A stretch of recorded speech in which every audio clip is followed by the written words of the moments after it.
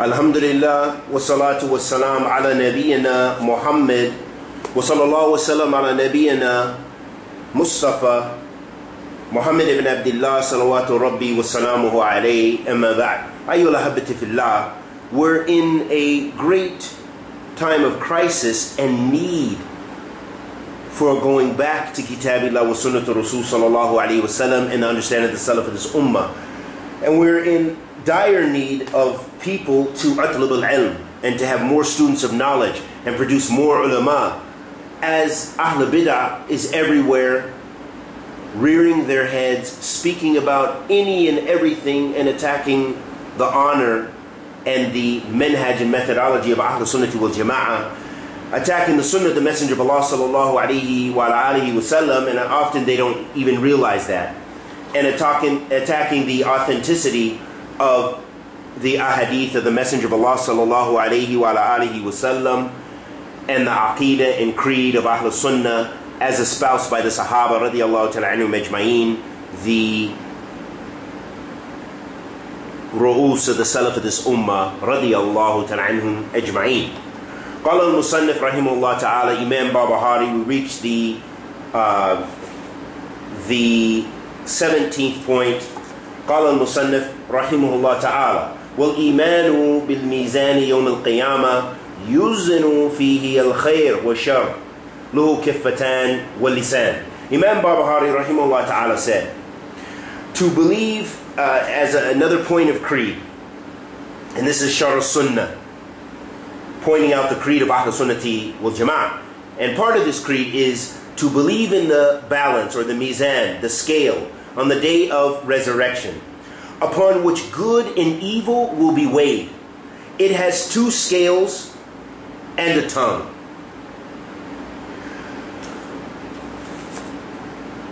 Imam Barbahari rahimahullah ta'ala here affirmed that the mizan, and the mizan عند أهل سنة ميزان حقيقي توزن به أعمال العباد وخالفت المعتزلة Imam Barbahari rahimahullah ta'ala affirmed the creed of Ahl Sunnati wal Jama'ah and the creed affirming uh, the, mizan, the mizan or the scale that will weigh the righteous deeds of the believers, uh, of, of, of, of people. And that the mizan is haqiqi. The mizan is, it's a real scale we don't know how the kayfiyah, but we know that it exists as a scale as Allah subhanahu wa ta'ala said in Kitab al-Kareem that the deeds will be weighed. And as the Messenger of Allah sallallahu alayhi wa said in authentic ahadith, and as the Salaf of this ummah were had consensus on, and we'll get to that very shortly. So, al-anna mizan in the Ahl Sunnah mizan haqiqi. So to Ahl Sunnah, it is a real scale that weighs the deeds of the servants, of the slaves, of, of humankind, and the jinn. And those who disagree with this point in creed are the Mu'tazila. The Mu'tazila deny the, they make inkar of the uh, ميزان قال ابن حجر رحمه الله تعالى uh, Imam Ibn Hajar, Hafiz Ibn Hajar, the uh, author of Fath al-Bari, the most significant uh, explanation of Sahih al-Bukhari. قال إمام uh, Ibn Hajar رحمه الله تعالى قال uh, قال أبو إسحاق الزجاج أجمع uh, أجمع أهل السنة على إيمان بميزان وأن أعمال العباد توزن به يوم القيامة وأن الميزان له لسان وكفتان ويميل بالأعمال وأنكرت المعتزلة الميزان and this is basically the same statement we've already made it, uh, is that uh, the statement of Imam uh, Ibn Hajar he said that uh, Abu Ishaq al-Zajjaj rahimahullah ta'ala said that the that Ahl Sunnah has consensus or is united uh, has consensus upon the uh, in, in the, the creed, in the believing that there is a scale that weighs the deeds of the servants on the day of judgment, and that the scale has a uh, uh, basically like a tongue and two arms. It has two scales, two ways to weigh, a kifatan, and a tongue. And it weighs the deeds. The deeds are weighed upon the scale. And the only ones who make ankar or deny this and negate this is the Mu'tazila that, that uh, negate the Mizan. And their argument is they say that it is an ibara an al-adl, that the scale is actually uh, metaphorical for uh, justice. And this statement, فَخَالِفُوا الْكِتَابِ الْكِتَابَ وَسُنَّةِ So they, they differ and go against the Quran and the Sunnah of the Messenger of Allah sallallahu alaihi wasallam by this statement. Because Allah subhanahu wa ta'ala told us that He will place uh, the deeds on these on the scale, the deeds uh, are our deeds on the scale, so that the servant will see his own deeds. There, you know, that servants will see the slaves, the people will see their own deeds.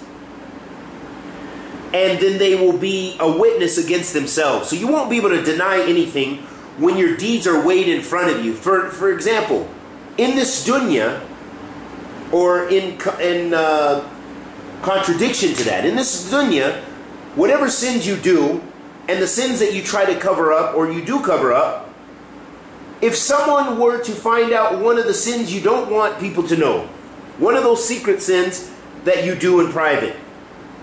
And may Allah forgive us all of our many sins. Ameen Ya Rabbil Alameen.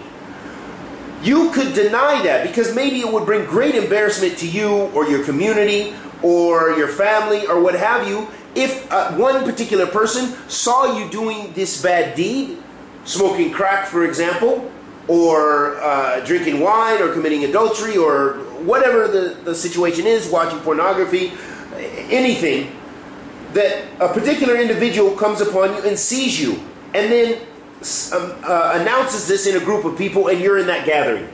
You would feel great embarrassment and even though if it was a deed that was true, you would probably fight to deny that.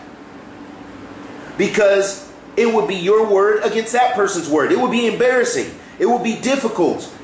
And it would only be certain people who might admit to their sin and their fault. However, most people are going to fight that and even go to the extent of lying about it. But on Yom Qiyamah, when our deeds are placed before us, may Allah forgive us and you, there will be no denial. Our deeds will be exposed and they will be weighed and we'll get what we deserve. And may Allah subhanahu wa ta'ala continue to have His grace, mercy, and favor upon us. Ameen Ya Rabbil Alameen. And cover our faults, our many sins. Ameen Ya Rabbil Alameen. And may Allah subhanahu wa ta'ala bless us all with tawbah. Tawbah to nasuha, to come back to Him, come back to Kitabillah wa sunnatu Rasul sallallahu alayhi wa sallam in the madhab of the salaf of this ummah. And if, and if any bid'ah that any of us have involved ourselves in, then may Allah bless us with tawfiq in making tawbah and removing that innovation from us and from being from Ahl Bid'ah uh, uh, or any other uh, mukhalafat. May Allah forgive us and guide us all. Ameen Ya Rabbil Alameen. And this is in accordance, this weighing of the and the scale, the weighing of the deeds, دل على ذلك الكتابة الكتاب والسنة وإجماع السلف. So the Quran and the Sunnah and the consensus of the Salaf all are evidence for this. They all indicate this, uh, that this is a part of our creed. قال الله تعالى في كتاب الكريم فمن ثقلت موازينه فأولئك هم المفلحون. ومن خفت موازينه فأولئك الذين خسروا أنفسهم. أنفسهم في جهنم خالدين uh, خالدون. In أيها الأحبة في الله Allah the Almighty says so whoever's uh, scale uh, is, is light with good, uh, or whoever's scale is, is heavy with uh, deeds, with good deeds, then they are those, the muflihun. They are the successful ones. And whoever is uh, a scale is light with, with good deeds, then those are the ones who, the khusara, khasiru, those are the ones who are in a loss. The opposite of being successful. These people will be losers in the day of judgment. Eh, they have belittled and uh, themselves. They've made themselves in a loss. And wallahi, we're in a loss when we commit sins, especially the major sins. We are in a loss. And you will feel that loss in this life as well as the hereafter. If you have any iman, you feel it whenever you do a sin, when you know you've done a sin. You listen to that little bit of music when you know it's haram. You reminisce on such and such, and you did such and such sin, knowing it's haram, knowing you'll be punished. You feel crunchy afterwards. You feel bad. You feel sad. You feel sometimes anger, depending on the level of the iman that a person has. But it's still a good sign that they have iman if they feel sorrow and they feel tension and they feel disgust at what they did. But if they rejoice in what they did and share the fact that they committed sins, especially major sins, then this person is truly in a loss and on misguidance and heading on a dangerous path. And as Shaykh al-Islam ibn Taymiyyah said, rahimahullah ta'ala, uh, al-ma'asi barid kufr that sinfulness is a means to disbelief. So that's heading on the wrong path, away from the Suratullahi al-mustaqim, the path of Allah Azza wa Jal, the straight path, tabarak wa ta'ala. And there are many other ayats, Surah Al-Anbiya, Surah uh, Al-Qariya, and other which are evidence for the the deeds being weighed, that our deeds will be weighed, and so that means we have nusus sarih, we have texts that you know have no doubt about them. It's the Quran. And then we have the authentic sunnah from those hadith of the sunnah. وقال النبي صلى الله عليه وسلم كلمتان حبيبتان إلى الرحمن خفيفتان على اللسان ثقيلتان في الميزان سبحان الله وبحمده سبحان الله العظيم The Prophet عليه الصلاة والسلام said in Sahih Muslim و Bukhari قال uh, كلمتان uh, that um, two words or phrases um, kalimatan khafifatan that are, are very light. Habibatan ila rahman. That they, there are two uh, statements which are beloved to ar-rahman allah subhanahu wa ta'ala showing allah subhanahu wa ta'ala's rahmah as well this is ithbat al-rahmah that Allah subhanahu wa ta'ala is ar-Rahman. It's his one of his divine names and attributes that he possesses, Rahman. Subhanahu wa ta'ala. He is the most merciful. Tabarak wa ta'ala. And these two phrases are beloved to him. They're kalimatan habibatan al-Rahman, khafifatan al-lisan. They are very light on the tongue. It's easy to pronounce these, these, these statements. Thaqilatan fi mizan. Subhanallah. Look at that. They are heavy on the scale. So on your scale of good deeds, this is something that's heavy and it's so easy for us. Alhamdulillah, I'm glad we're studying this hadith. It's a reminder to me. Make dhikr of Allah Azza wa Jal and get your sins forgiven and make your, your scales uh, heavier on the day of judgment. Faqilatan fil mizan, it's heavy uh, on the scale. Subhanallah, Subhanallah wa bihamdihi, Subhanallah al that's, that's the kalimatan. Glorified be Allah. And all the praises to Him. And glorified be Allah al-Azim. The, the majestic or the, the, the subhanahu wa ta'ala. So that simple phrase, subhanallah wa bihamdihi, subhanallah al-Azim. Subhanallah wa bihamdihi, subhanallah al-Azim. We, we have to uh, memorize that dhikr That kalimatan habibatan ila rahman. That simple phrase which is beloved to ar-Rahman. وثقيلتان على في الميزان and it is heavy on the scale وخفيفتان على lisan it's so easy for us to say on our tongues subhanallah wa bihamdi subhanallah al and may Allah accept our good وقال أثقل شيء يضع في الميزان الخلق الخلق حسن in uh, also the Prophet alayhi salatu wasalam said the first hadith was a hadith of Abi Huraira and this in this hadith uh, in, in, in Bukhari and Muslim in this hadith also in Bukhari and Muslim or this hadith is uh, أخرج أبو داود من حديث أبي درداء وصحه الألباني رحمه الله تعالى في صحيحه uh, this hadith was authenticated by Imam al-Albani rahimahullah ta'ala uh, and it was narrated in or collected in uh, Abu Dawood Sunan Abu Dawood from the hadith of Abi Darda radiyallahu ta'ala anhu uh, and he said that, that the Prophet ﷺ said, أثقل شيء يدعى في الميزان الخلق الخلق الحسن that the heaviest thing uh, that will be placed upon the scale is righteous manners.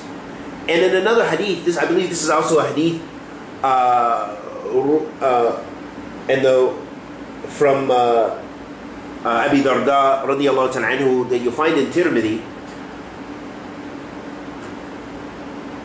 قال قال النبي صلى الله عليه وسلم ما من شيء أثقل في ميزان المؤمن يوم القيامة من حسن خلق وإن الله يبغض الفاحش البذيء the Prophet ﷺ said, There isn't a thing that weighs heavier on the scale. Mamin shayin fi Mezan." Again, he used the term Mezan. There isn't a thing that isn't heavier on the scale of the believer on the day of judgment than good manners. So do your best, Ahl Sunnah, Ahl Iman, to improve your manners with everyone. Because you don't want anyone to take that from you, even from Ahl Bid'ah. Some people don't even know how to know the ahkam of dealing with a mubtadi'ah and dealing with other people or uh, Ahl Fisk or Ahl Kufr or what have you. Everyone has uh, various rights. Islam has given everyone various rights and ways to deal with people, especially if you want good for someone. Even from someone from Ahl Bidah, you want them to make tawbah and come back to good. Especially if there's not someone who is calling to their bid'ah and is aware of their bid'ah and distorting the religion. But you want people, you want to show people good. Show them that Ahl Sunnah is the best and has the best manners.